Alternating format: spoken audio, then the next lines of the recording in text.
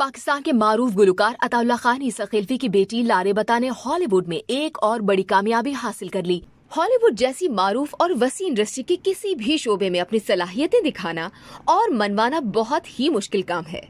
ऐसे में लारे बता का बतौर विजुअल इफेक्ट्स आर्टिस्ट दुनिया की नामी गिरामी फ़िल्म इंडस्ट्री का हिस्सा बनना पाकिस्तानी कौम के लिए फख्र की बात है।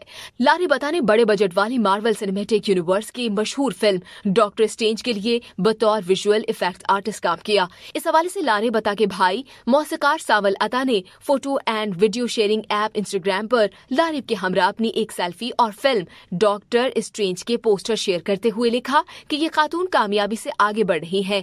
मेरी बहन ने दोबारा एक ब्लॉकबस्टर फ़िल्म पर काम किया। ख्याल रहे कि लारे बता, इससे पहले भी 2006 से लेकर अब तक कई मशहूर इश्तेहार और टेलीविज़न सीरीज़ में अपने फन का जौहर दिखा चुकी हैं। इसके अलावा Hollywood film Godzilla X Men days of the future past mission impossible fallout और नो टाइम टू डाई के लिए भी काम कर चुकी हैं। यही नहीं जेम्स बॉन्ड सीरीज़ की film no time to die के लिए लारे बता की टीम को एकेडमी अवार्ड्स और बाफ्टा अवार्ड्स 2022 के लिए बेहतरीन स्पेशल विजुअल इफेक्ट्स की कैटेगरी में भी नामजद किया गया था।